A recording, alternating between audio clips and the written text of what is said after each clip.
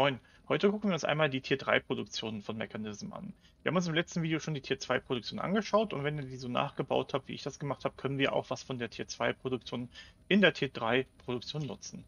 Fangen wir aber mal am Anfang an, bei diesem Multiblock. Wir haben hier einen Wärmeverdampfer, thermische Verdampfungsanlage. Diese Verdampfungsanlage erstellt aufgrund von Wärme Soul. Kannst hier immer nur so ein bisschen sehen, weil es sofort weitergepumpt wird. Und wie bauen wir den jetzt? Zuallererst haben wir hier eine Wasserquelle. Ich habe einfach mal die elektrische Pumpe anstatt das Spülbecken genutzt. Einfach um auch zu zeigen, was Mechanism noch so kann. Und durch diese elektrische Pumpe, die auch am Strom angeschlossen ist, hier nutze ich den Strom von unserem Multiblock, wird regelmäßig Wasser in die Verdampfungsanlage gekippt. So, wir werden den jetzt einmal nachbauen. Wir haben die Wärmeverdampfungsblöcke mit einer Grundfläche von 4x4. Darüber bauen wir eine Außenwand, komplett rumgezogen. Und darüber können wir jetzt unsere Module setzen und den Rest mit einer weiteren Außenwand füllen. Heißt, ich packe hier zum Beispiel ein Ventil dran, hier ebenfalls und der Controller, den möchte ich gerne hier haben. Des Weiteren kommen an die Ecken jetzt die Solargeneratoren. So, und wenn ich keine weiteren Ventile möchte, kann ich den Rest jetzt mit dem Wärmeverdampfungsblock schließen. So, und schon haben wir den Multiblock fertig gebaut. Wichtig hier ist, die Standardversion des Wärmeverdampfers wäre an den Ecken ein weiterer Block anstelle von den Solargeneratoren. Da rate ich aber von ab. Und zwar würde der trotzdem funktionieren. Über die Ventile bekommt er dann separaten Strom. Aber die Wärme, die der Generator hier erzeugt, und das ist ja auch das, was wir benötigen, eine extrem hohe Wärme, ist dann abhängig von dem Biom, in dem der Generator steht. Heißt also ganz blöd ausgedrückt, im Schneebiom wird das Teil wahrscheinlich nicht funktionieren und im Wüstenbiom wird das Teil sehr gut funktionieren. Da wir aber Biom unabhängig bauen wollen, das aufstellen wollen oder sollten, wo wir wollen, empfehle ich sofort die Version mit den Solargeneratoren zu bauen. So, und hier können wir jetzt natürlich noch die Rohrleitung dann anschließen. Und würden dann sehen, dass wir hier dieses Soleil produzieren. So wie erwähnt, ist diese Verdampfungsanlage dafür da, aus Temperaturen in Verbindung mit natürlich Strom dieses Soleil zu produzieren. Das leiten wir dann mit einer Rohrleitung weiter in unsere erste Maschine für die T3-Produktion, der Elektrolyseur. Der Elektrolyseur bekommt also dieses Soleil und macht daraus Natrium und Chlor. Man sieht es hier immer nur so ein bisschen, das ist aber dann Chlor. Das Natrium benötigen wir in diesem Moment nicht, dementsprechend habe ich die Option, Überschuss ausleeren wieder aktiviert, damit das Natrium uns nicht die Produktion stoppt. Das Chlor werden wir dann weiterleiten in den chemischen Injektor. Der chemische Injektor benötigt ebenfalls noch Wasserstoff und diesen Wasserstoff nehmen wir aus der Tier 2 Produktion. Hier hatten wir, wie ihr eventuell aus dem letzten Video noch kennt, den Elektrolyseur ebenfalls aufgebaut für die Reinigungskammer. Und hier wird ja Wasserstoff erzeugt, was wir in dem Tier 2 Video nicht benötigt haben. Jetzt benötigen wir es und dementsprechend können wir es hier abzapfen. Wir können natürlich auch ein neues Spülbecken oder Wasserquelle und Elektrolyseur bauen und den separat hier anschließen. Das ist auch genau dasselbe Ergebnis. In dem Fall haben wir hier den Wasserstoff. Aus dem Wasserstoff und aus dem Chlor wird dann Chlorwasserstoff. Man kann es auch immer nur so ein bisschen hier sehen, aber ich glaube hier besser, links oben, Chlorwasserstoff. Hier nach oben, das ignorieren wir, das ist für die spätere Tier 4 Produktion. Das heißt, wir haben hier einfach nur einen Druckschlauch in Richtung der chemische Injektionskammer und in der Injektionskammer ist unser Chlorwasserstoff und unser Rohgold, was ich hier als Beispiel nehme. Ihr könnt natürlich auch andere Erze nehmen auf Basis hier der Rezepte.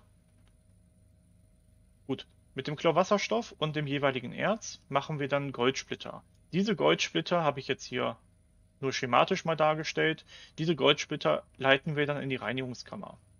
Und in der Reinigungskammer werden die Goldsplitter dann weiterverarbeitet. Die Weiterverarbeitung wird dann in Goldklumpen geschehen und die Goldklumpen gehen dann, wie man es kennt, zum Zerkleinerer. Der macht daraus dreckiger Goldstaub und am Ende Golddust. Hier ist nochmal wichtig zu wissen, wir nutzen jetzt hier einmal unterschiedliche Kabel. Einmal haben wir eine ultimative Rohrleitung und wir haben einen ultimativen Druckschlauch, also die jeweils maximale Version. Also wir haben eine Rohrleitung und einen Druckschlauch. Wenn ihr euch unsicher seid, ist das jetzt eine Flüssigkeit oder ist das jetzt ein Gas oder was ist das denn überhaupt, nehmt da wieder den Konfigurator für.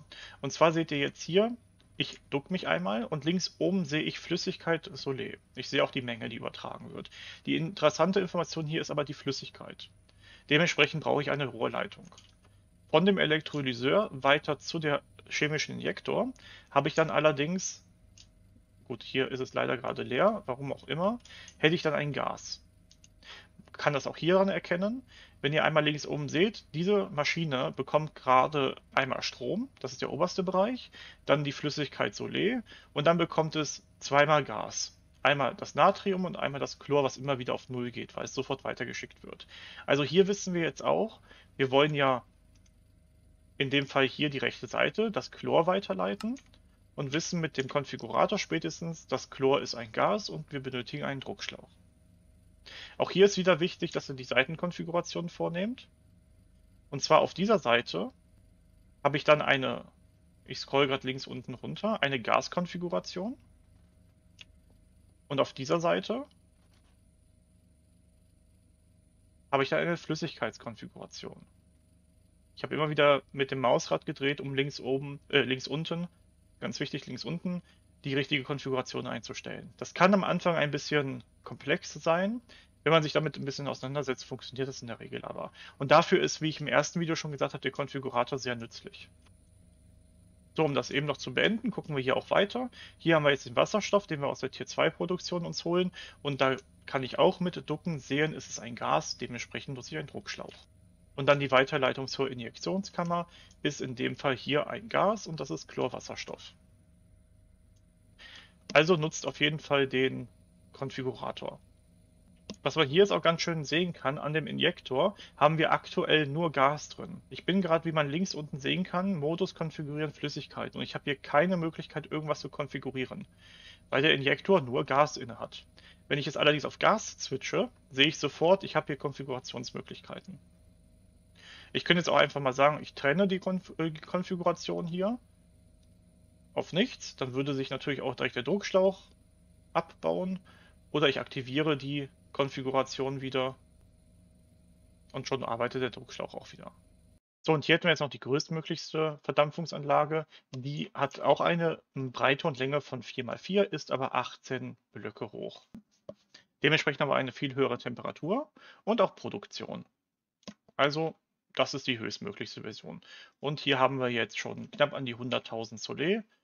Ich habe das hier ungefähr 10 Sekunden, bevor ich das Video aufgenommen habe, begonnen. Wie man sehen kann, es wächst sehr schnell. Wir können uns das einmal noch mal kurz von oben anschauen. Hier sind übrigens die alten, größtmöglichsten Gebäude oder Maschinen. So, das Wasser ist bis oben hin gefüllt. Dementsprechend haben wir auch eine gute Kühlung über drei Spülbecken. Gut, wenn Fragen sind, gerne in die Kommentare damit. Ansonsten sehen wir uns dann im nächsten Tutorial, wo wir uns die Tier 4 Produktion von Mechanism anschauen.